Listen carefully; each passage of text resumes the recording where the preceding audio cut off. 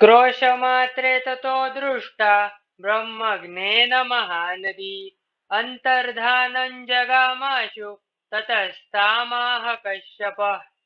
नमोऽस्तु ते ते पर्वतराजकन्ये नमोऽस्तु तुभ्यं ऋषिवर्यजुष्टे।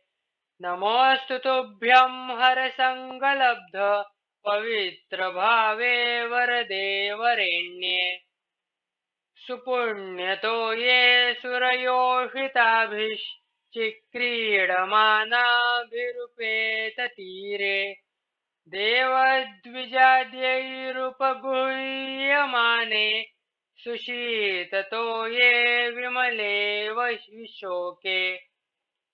येषां हि भीत्या प्रपलायसि त्वं त्वद्दर्शनाद्देवि विमुक्तपापाः वृत्ता नरास्ते गतसर्वपापाः त्वां भासयन्तः प्रभया महत्या सप्तार्चिदग्धस्य यथा शुचित्वम् त्वद्दर्शनाद्देवि तथा शुचित्वम् सर्वं पवित्रं भवतीह तद्वत् पापं महेशानि कुरु प्रसादम्। पापानां पावनार्थाय प्रार्थितासि महानदि। तस्मात् पावय पापानि, मा प्रणाशं व्रजाशुगे। एवं प्रसादिता भक्त्या कश्यपेन महात्मना। उवाच कश्यपन् देवी तन्तथा अत्यन्तपापसंयुक्तात् नाहं पवितुमुत्सहे, तदत्र प्रेरय विभो लक्ष्मीं शारङ्गधरप्रियाँ, शक्ता हि पावने ब्रह्मंस्त्रैलोक्यस्यापि सा भवेत्। अदितिश्च दितिश्चैव, या च गङ्गा महानदी।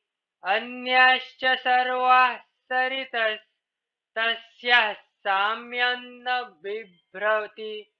केवलं प्रार्थयस्वाद्य लक्ष्मीं केशववल्लभां। तस्याः सवचनं श्रुत्वा प्रययौ भगवान् किल। गोविन्दमाराधयितुं श्वेत द्वीपं विहाय सा। गोविन्दस्त्वब्रवील्लक्ष्मीं गच्छ त्वं देवि माचिरम् केशवेनैव मुक्ता तु लक्ष्मीः शोकसमन्विता। उवाच वाक्यं प्रथमं, गता तत्र सती विभो।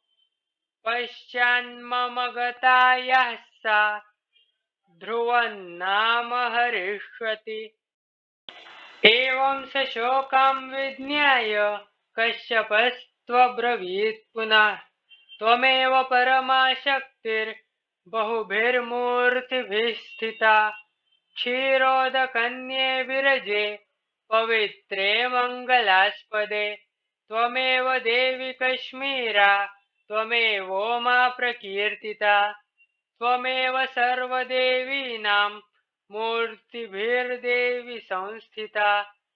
वैतस्तम्भस्तवतोयमिश्रं च यथा तथास्तु।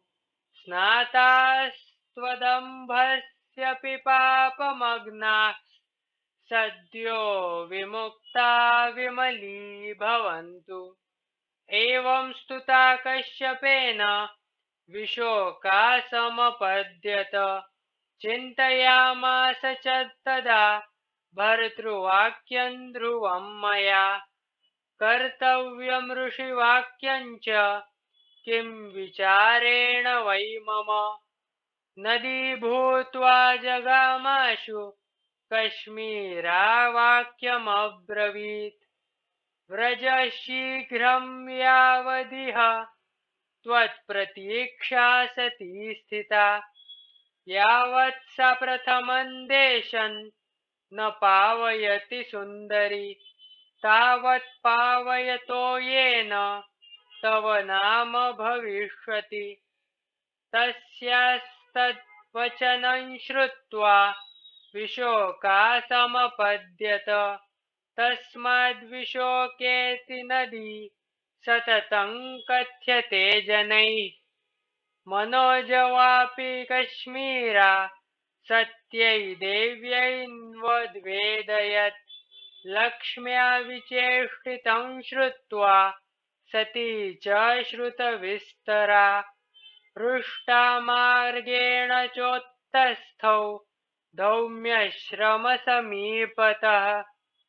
आक्षोर्बिलेन शून्यत्वात् विशोका चाप्यनन्तरम् आजगामवितस्ताञ्च ददर्श पुरतः स्थिताम् दृष्ट्वा वितस्ताङ्गतमत्सरा सा जगामयोगञ्च तया विशोका पूर्वगता तत्र तदा वितस्ता जग्राह नाम क्षितिपप्रधान। कश्मीरान्तु तदा क्रुद्धा विशोकात्वशपत् प्रभो उपक्षीर्णानृतेनाद्य त्वया यस्मादहं फले सती च श्राविता यस्मात् त्वया मम विचेष्टितं तस्मात्ते प्रयशो भावी जनः खल्वनृते रथः अपूजनीयो लोकेषु मलवान् कर्म कृत्तधा यन्मे मानं मृतं सत्या न मे व्रीडात्र जायते। यैवाहं सैव कश्मीरे सती देवी न संशयः सती लक्ष्मी समेता तु पावयन्ती ततो जनम्। जगामहलमार्गेण मन्दं मन्दं सरिद्वरा। अदितिदेवमाता तु त्रिकोटीत्यभिविश्रुता। संयोगे संहिता देव्या ततः प्राप्ता वितस्तया ततश्यची शक्रपत्नी नाम्ना शक्रपथा नदी। ततश्चन्द्रवती नाम दितिर्दैत्यारणिर्नृप। एवं क्रमेण या देवी गृह्णन्त्यर्थसरिद्वराः जगामगङ्गया सार्धं संयोगं सिन्धुना सह सैन्धवेन युक्तं यथा क्षीरमिवामृतेन लावण्ययुक्तं च यथैव रूपं शीलेन युक्तं च यथा श्रुतं स्यात्। शौर्यं यथा स्याद्विनयेन युक्तं धर्मं यथा स्याद्द्रविणेन युक्तम् मृत्सायुता वा मृजयैव राजन्। कामं यथा स्यान्मनसोपपन्नम् रत्नं यथा स्यात् कनकेन युक्तम्। आयुर्यथा स्वास्थ्ययुतं नृवीर सम्मानयुक्तं च यथैव लाभं तथा तु सा तत्र तदा बभूव। तपनस्य सुता देवी गङ्गा स्नेहेन यन्त्रिता बहुमानान् स्वेनांशेन व्यवर्धयत्। वितस्तान्तु सरिच्छ्रेष्ठां सर्वकल्मषनाशिनीं गङ्गया सिन्धुस्तु विज्ञेया वितस्ता यमुना तथा स प्रयागसमो देशस्तयोर्यत्र तु सङ्गमः गङ्गातोयमथादाय गङ्गान्तु यमुना ब्रवीत्। प्रयागे परतन्नाम त्वया मे वरवर्णिनि कश्मीरायां तथा नाम मया चापरतन्तव। तामब्रवीत्ततो गङ्गा भूय एव मया तव। हर्तव्यन्नाम सुभगे यदाहं सिन्धुसंज्ञिता।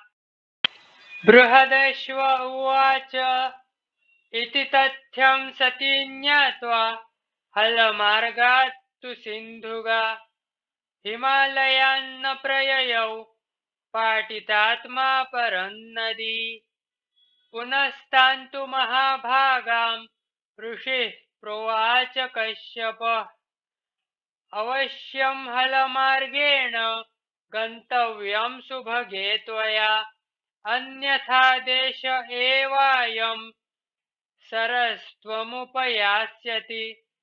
भूयो भूयश्चोद्यमाना कश्यपेन सरिद्वरा क्रोधात्ततो विनिष्क्रान्ता हलमार्गेण तेन सा। तस्मिन् देशे प्रसन्नापि दृश्यते कलुषा नदी। कश्यप उवाच वितस्ताख्या सरिद्रूपा देवि त्वं पर्वतात्मजे। तपस्विनी परा शर्वात् शर्वपत्न्यसि नो नदी। अद्रिवत्सासि भद्रन्ते, तद्देहाच्छृङ्गिणी नदी। शम्भुनोढासि रुद्राणि, स्रवन्त्यसि मयार्थिता।